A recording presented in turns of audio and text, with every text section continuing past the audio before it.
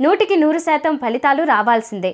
నూరు శాతం ఫలితాలు రాకుంటే టీచర్లపై చర్యలు నూరు శాతం ఫలితాలకు కలెక్టర్లదే బాధ్యత. ఇలాంటి డైలాగులన్నీ చూడడానికి తీయగానే ఉంటాయి. కానీ నూరు శాతం ఫలితాలు అనేది ఏ పాఠశాలలో అయినా సాధ్యమేనా?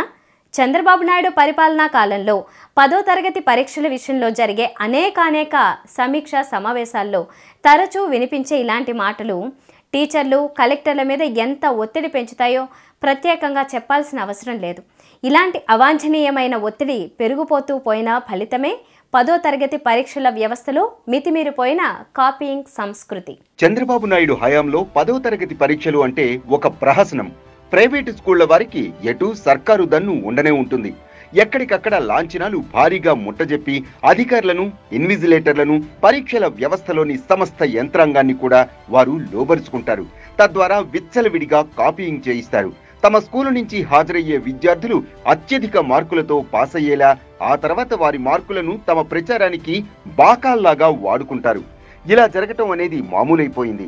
ప్రభుత్వ పాఠశాలల విద్యార్థులకు కూడా తేడా ఏమీ లేదు. ప్రైవేటు స్కూళ్ళకు విద్యార్థుల కాపీయింగ్ అనేది వారి మార్కెటింగ్ కోసం వ్యాపారం కోసం తప్పనిసరి అవసరం కాగా గవర్నమెంట్ స్కూళ్ళ వారికి అది మనుగడ కోసం తప్పనిసరి అయిపోయింది.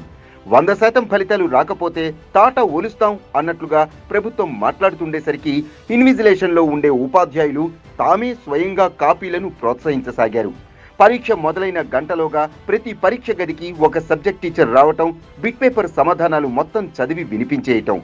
విద్యార్థులందరూ దాన్ని పూర్తి చేసిన తరువాత పక్క గదికి వెళ్ళటం ఒక సంప్రదాయం అయిపోయింది. ఆ రకంగా ప్రతి విద్యార్థికి బిట్ పేపర్లో ముప్పై మార్కులు అనేది గ్యారంటీ. ఇక మెయిన్ ఆన్సర్ షీట్లో కనీసం ఐదు మార్కులు తెచ్చుకోగలడా లేదా అతని శక్తి సామర్థ్యాల మీద ఆధారపడి ఉంటుంది. ఆ సామర్థ్యాల్లో భాగంగా చిట్టీలు తెచ్చుకొని పరీక్ష రాయటం కూడా ఒకటి. అలా రాసిన ఇన్విజిలేటర్లు చూసి చూడనట్టుగా వదిలేసేవారు. తిమ్మిని బమ్మిని చేసి అయినా నూరు శాతం ఫలితాలు రాబట్టడమే వారి లక్ష్యం. జగన్ అధికారంలోకి వచ్చాక విద్యా వ్యవస్థను అనేక రీతులుగా సంస్కరిస్తూ వచ్చారు. నాడు నేడు రూపేణ సర్కారు బళ్ళ రూపురేఖలు మారిపోయాయి.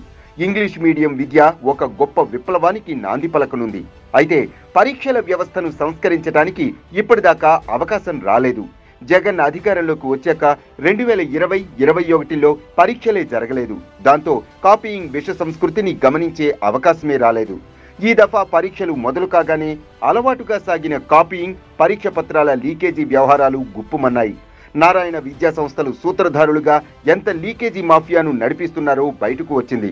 గాడి తప్పిన పరీక్షల వ్యవస్థను ప్రభుత్వం గమనించేలోగానే అప్పటికే మూడు సబ్జెక్టుల పరీక్షలు అయిపోయాయి. సర్కారు కాపీయింగ్ను ప్రోత్సహించకుండా కట్టడి చేసింది. దాంతో ఒక్కసారిగా పరిస్థితి మారింది. ఫలితాలు వెల్లడయ్యేసరికి తొలి మూడు పరీక్షల్లో పాస్ అయిన అనేక మంది తర్వాతి సబ్జెక్టుల్లో ఫెయిల్ అయ్యారు పాస్ పర్సంటేజీ తగ్గి ఉండొచ్చుగాక కానీ అంతో ఎంతో చదువుకున్న వారు మాత్రమే పై తరగతులకు ప్రమోట్ అవుతున్నారు. ఇది మంచి పరిణామమా? చెడు పరిణామమా? దీని గురించి ప్రతిపక్షాలు ఎందుకు గొంతు చించుకుంటున్నాయి? ఇది విజ్ఞులందరూ ఆలోచించాల్సిన విషయం. పాస్ పర్సంటేజ్ అనేది ప్రభుత్వం పనితీరుకు గీటురాయి కాదు. చదువుకున్న విద్యార్థులు నాణ్యమైన విద్యను పొందగలిగారా లేదా అనేదే గమనించాలి. ఆ మాత్రం తెలివి విమర్శలు చేసేవారికి ఎప్పటికీ కలుగుతుందో ఏమో.